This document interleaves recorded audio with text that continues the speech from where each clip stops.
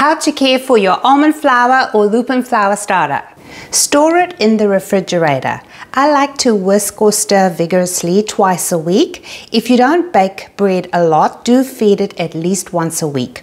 On the day you bake, bring it up to room temperature and give it a feed so you have a blooming starter to use and do that for both jars so you have enough for one loaf going away or don't plan on using it for a long time, spread the starter onto baking or parchment paper and bake it for an hour at 150 degrees Fahrenheit or 60 degrees Celsius, which will turn your starter into flakes and you can store it as dry goods. And if you want to restore it, just add about one fourth cup of warm water, about 70 degrees Fahrenheit. Any questions, do let me know and follow me for more keto sourdough recipes.